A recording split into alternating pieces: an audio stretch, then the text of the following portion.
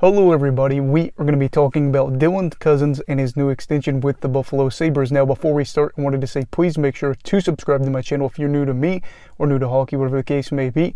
I'd love to have you here along the way. Now let's talk about Dylan Cozens and his new deal.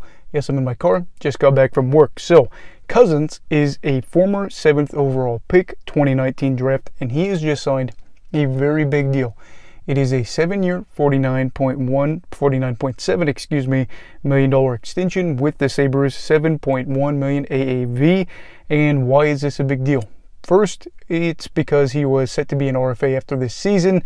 I don't exactly know what teams would have really pursued him as an RFA, uh, considering this is kind of the first breakout year for him. But he's young, He's viewed as a guy that has a lot of potential, so maybe some teams would have really snuffed around, but for Buffalo, probably didn't want to have to deal with anything. If they could get him extended, that would be great for them. He's also one of the two major extensions that have really gone on here in the past, I want to say month. I cannot remember when Tage Thompson signed his extension with Buffalo, uh, but yeah, Tage Thompson, another guy that looks like he is probably Buffalo's best player for years to come if he's able to do what he's been doing. But for Cozens, he is a player that very well could be part of that future. And I think that's what Buffalo sees right now with guys like Thompson, uh, guys like Cozens. And they see these guys that are young, that are, you know, guys that maybe they didn't get uh, outright, whereas Cozens they did, but you know Thompson they got with a trade. But part of their long-term plan to really build around these young players and have them be the pillars of the franchise. I'm not going to say just yet that these are the Toews and the Kane or anything like that, because of course their situations are totally different than those two. But we are looking at these new signings, especially with these two, as part of this, you know renaissance for Buffalo, I guess, if you want to call it. But this does actually set Buffalo up really nicely down the future. Uh, in the middle, you look at Thompson and Cozens, two guys that play center, or at least take a lot of faceoffs. And to be able to say that two top six forwards, at the very least, if I know the center position's changing a lot, but two top six guys that are big parts of the team are part of your future, this is great. And this is going to be a very good thing if things click for Buffalo at least for seven years. I can't remember Thompson's deal, it might have been seven years as well.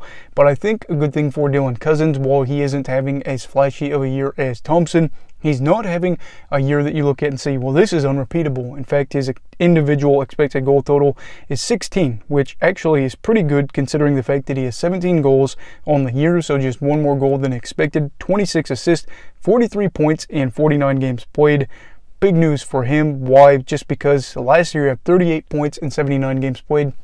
I really would like to go in a little bit more depth with Cozens, but I will say since I just got back from work and I'm in my car, of course, I don't have access to a lot of this stuff right now where I could put it together a video like that. But also, too, uh, there are some other aspects where maybe he is helping other teammates out. He plays a lot of time at 5 on 5 with John Jason Peterka. He is a former second overall pick and he is having a bigger taste in the NHL this season. He has 19 points in only 48 games played. Again, I really would love to be able to go in and take a deeper dive and say, is Cozens a big part of that success? With Peterka being able to have seven goals and 12 assists, um, you know, in the early part of his career. I think this is just his second season. I don't know. Now, there are varying degrees there defensively that group or those two together are not great. Uh, but he also was playing other crucial minutes with guys like Rasmus Dahlin, Owen Power, Dahlin, looking to be maybe not the favorite to win the Norris this year, but at least a candidate. And Owen Power, another guy, he had a very impressive stint last year. And then this year, while it hasn't been as flashy, things have clicked for him as of late a little bit more. I think he had three games in a row where he scored goals. And again, getting these young guys, getting these guys that uh, are either drafted by them or acquired by them, whatever the case may be, to play together, play minutes, and play winning hockey. That is the big thing. Buffalo definitely not out of it right now for the playoff push. And if they can make the playoffs, maybe this is a taste of what's to come with guys like Thompson, Cozens, uh, Dahlin, and Power, etc.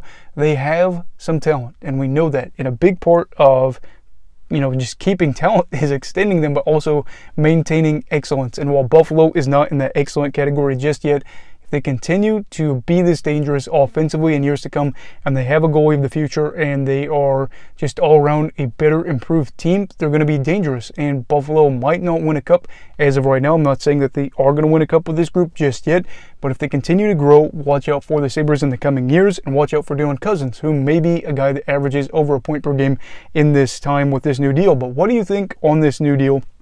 Again, kind of his first breakout year, but doesn't seem to bother the Sabres to pay these guys early before maybe other teams would be able to go out there and give them big deals then. But we will see how that goes. Let me know your thoughts on the deal down below. Also, please make sure to like this video if you enjoyed it. Subscribe if you're new. Everybody stay safe.